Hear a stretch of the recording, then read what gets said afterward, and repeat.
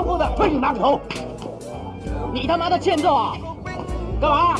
什么？要跟我讲打架是不是？我看你他妈真是瞎了眼了你！他因远见而加入小堂口，在一次与其他社团的冲突中，他凭借自己的聪明才智，以少胜多，为堂口赢得胜利，被选为堂口老大。堂口在他的带领下，短短的三年间，实力壮大了十倍不止。后来也因为他，堂口自立门户，成为香港最具实力的社团。他是和安乐社团的温贵，江湖人称他为白面书生。和安乐社团成立至今已有百余年，在这百余年间，香港出现过有上百个大小社团，至今尚存的寥寥无几。在当时，和安乐也只是个小社团。正是因为温贵这个人，他才能成为众多社团中的翘楚，并保存至今。要说温贵这个人，就得先说说和安乐这个社团是如何建立起来的。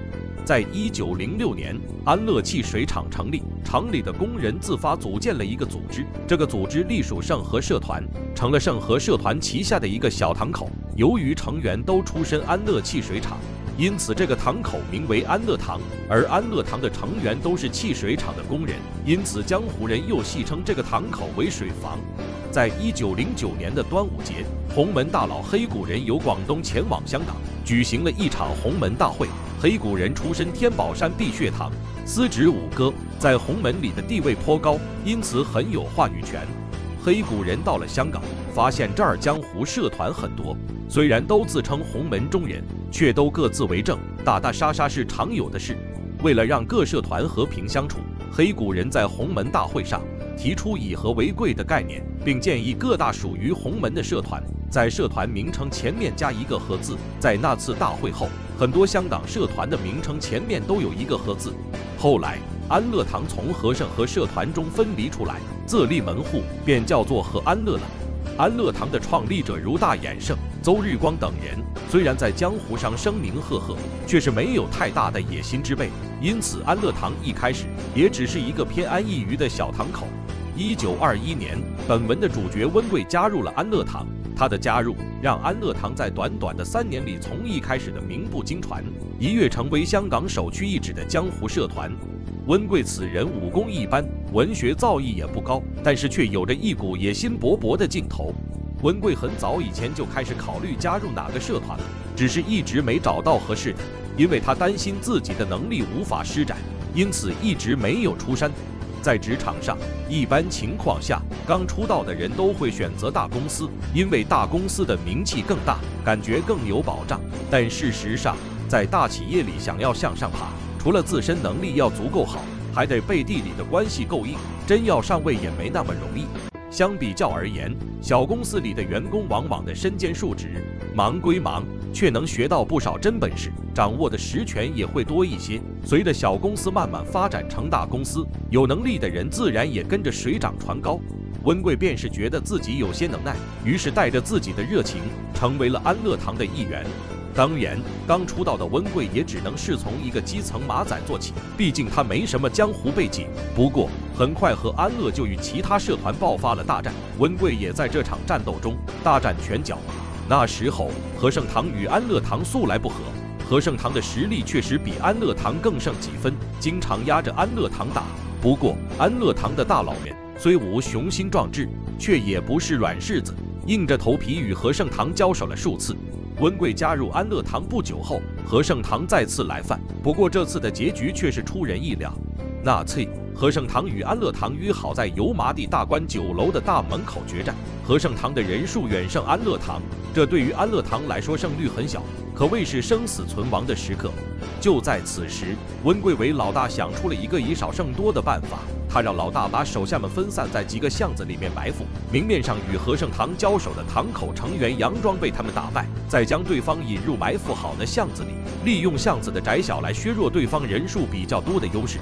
老大一听，觉得很有道理，立刻按照温贵的建议来安排。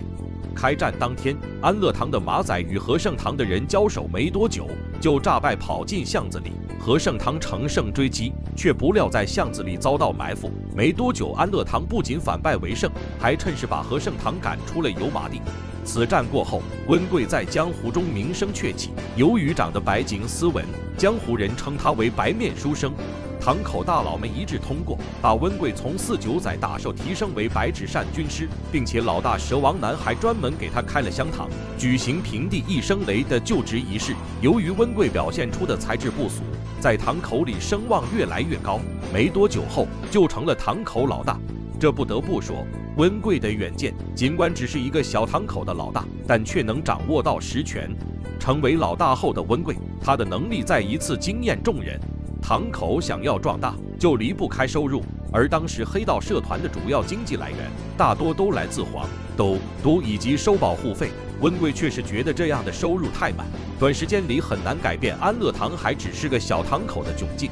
于是，温贵下令造海底。所谓的造海底，也就是建立一份会员名单，会员每个月要缴纳六毛钱的会费，这样社团就多了一份经济来源。以前的六毛钱换算成现在的物价，大概是可以买三十斤大米，算起来马仔们也是可以承受得住的。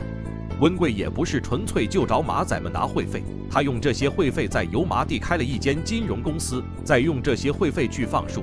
由于当时经济状况相对稳定，坏账率较低，即使坏账了，也有堂口的马仔前往讨要，因此堂口日进斗金。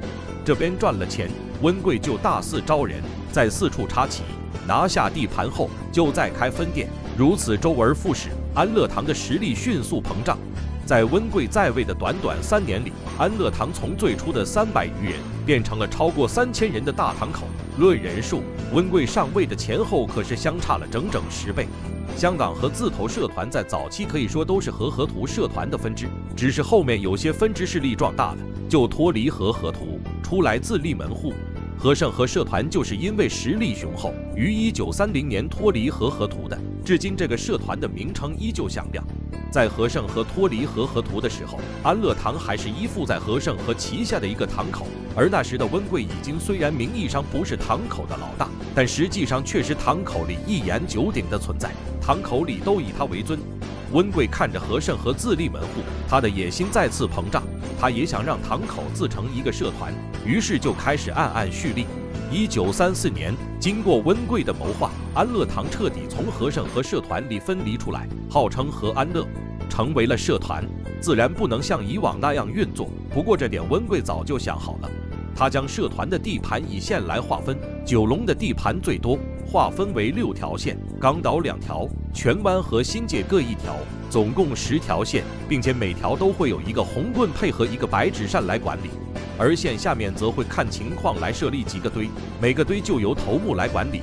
这样，社团高层下达的命令就能环环相扣，指挥起来得心应手，比起其他社团效率高得多。因为温贵的这一系列动作，使得社团成员的数量猛增，甚至其他社团的成员都纷纷转投到和安乐，社团的收入不断增加，温贵在社团里的声威也是如日中天。甚至在不久后，和安乐的规模还超过了和合图与和盛和，成为香港规模最大的社团。有江湖传言为证，最老福一星，最大和安乐。不得不承认，温贵这个组织型的天才，绝对是十分难得的。虽然没有什么文采，也没有什么武力，但这份雄心壮志和高瞻远瞩，再加上办事有条不紊，足以让他在别的领域大放异彩。